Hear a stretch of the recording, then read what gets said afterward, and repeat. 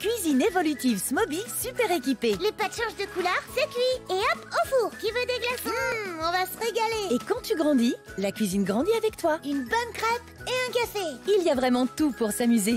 Nouvelle cuisine évolutive. Smoby